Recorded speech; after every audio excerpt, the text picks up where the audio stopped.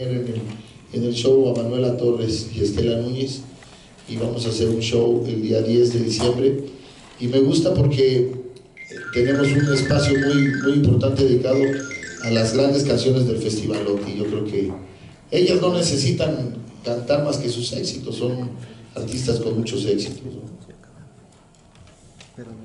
Chavos. Se bien. Bueno.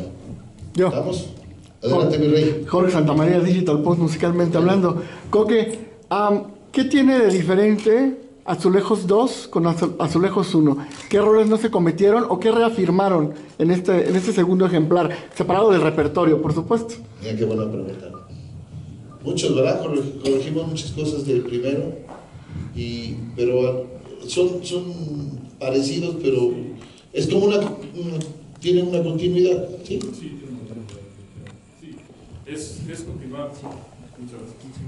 Dicen que lo que no está descompuesto no hay que, no hay que arreglarlo. Y Azulejos 1 fue un gran éxito.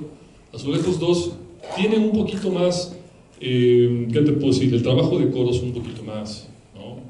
más amplio, pero en realidad este, la, la, idea que nosotros tuvimos es, vamos a tratar de hacer un símil de, de, del, del, tiempo de cada canción, es decir, que más o menos pusimos como al espejo el, uno del dos, ¿te acuerdas? Así fuimos escogiendo el repertorio y sí, llevando algunas baladas modernas a ese ritmo también, pero básicamente creo que es, es, es básicamente, bueno, la diferencia con este, claro, es que tenemos dos duetos, eso sí también, está el de David Bustamante y está Margarita, que también nos hizo favor de, de cantar un bolero precioso como es Madrigal.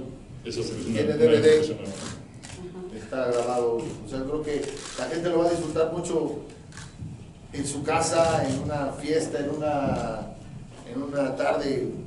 Yo siempre pienso en las señoras, yo soy este, fan de, las mujeres en cierta edad donde tienen chance ya de hacer lo que quieran ponen su música, invitan a sus amigas, se echan un par de traguitos, si les gusta jugar, juegan y ponen un disco que es para ellas. Nosotros pensamos todas las canciones, todas las baterías están dedicadas a las mujeres, porque la mujer tiene una sensibilidad muy especial y ellas son las que, las que disfrutan este tipo de canciones. ¿verdad?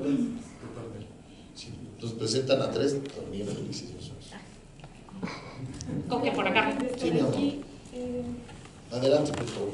Bueno, quisiera... A, a, respetando y queriendo este, eh, que se escuche al, al pasado, ¿no? Y eso lo hace muy sabroso grabar con, con el maestro. Yo a veces pienso como que no va a salir un día de bata así como... Tocayo, ¿qué crees? ya estando ahí, pues ya ¿Saben cuántos discos se venden la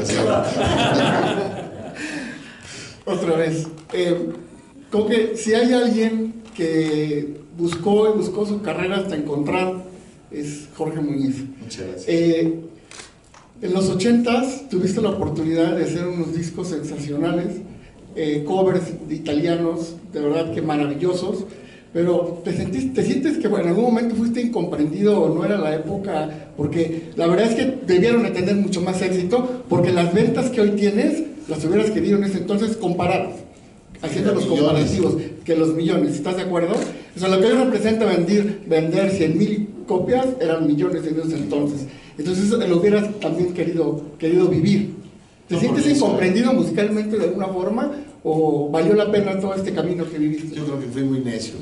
La verdad, muchos errores, muchas este, vanidades, eh, que crees que todo lo sabes y todo lo mereces, que las cosas vienen naturalmente porque te tenían que tocar. Y el aferrarte a no tener una dirección, grabé salsa con Willy Chirino, un disco precioso, que no se escuchaba la salsa, me lo dijeron, en México no vas a tener mucha, pero yo quería ser salsero. Me fui a, Miami, hice una gira por, por, todo el Caribe y compré mis camisas de flores y yo me sentía salsero. Y luego terminando eso, se logró grabar con banda y entonces me compré mis botas, mis parecía yo este confitón con sombrero. Un año de gira con el recodo ¿Fuiste popero? ¿Usaste las camisas? Claro, sí, no, y luego, bueno, muchas cosas que lo hace uno por, porque no escuchas, ¿eh? no sé si sea tarde o haya sido a tiempo, pero eh, eh, un personaje que trabajó aquí muchos años, Manuel Calderón, fue el que me dijo, tienes que grabar boleros, quítate de estar dando vueltas. Le dije, no, yo no grabo eso, no me gusta. Está muy grabado, todo el mundo graba boleros. Y cuando me dio las canciones tenía yo ganas de llorar. Digo, son más viejas que las que cantaba mi papá cuando era joven. Digo, esas vas a cantar. Había una que hablaba, ¿te acuerdas? ¿No se acuerdan ustedes que había de repente canciones donde a la mitad decían, porque yo te quiero, porque tu cariño me hace falta, Digo, para mí, no sé si para ti, es más cursi mi vida. Y me puso una canción así, dije, no la voy a grabar. Si no la grabas así, no sale. Sí, pues ni modo, pues porque yo tanto te amo.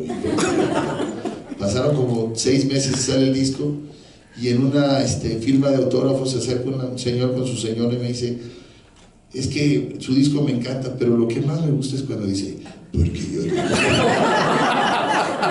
¿Qué razón tenía el que sabe qué es lo que le gusta al público? Le hice una versión con la voz de José José, ¿te acuerdas? ¿Por qué te quiero tanto? Porque nunca te voy a dejar.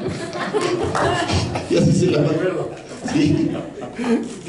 Pero hay que escuchar. No hay secretos. lo más importante para un artista es que escuche. No existen secretos. Que escuche de las personas que saben. A mí me sorprende cuando veo a un compañero que dice, eh, la canción es mía, el arreglo es mío, la producción es mía, la fotografía es mía, las páginas interiores yo las hice y el arte es mío. Puta madre. Si no tienes quien te diga cómo, no sales.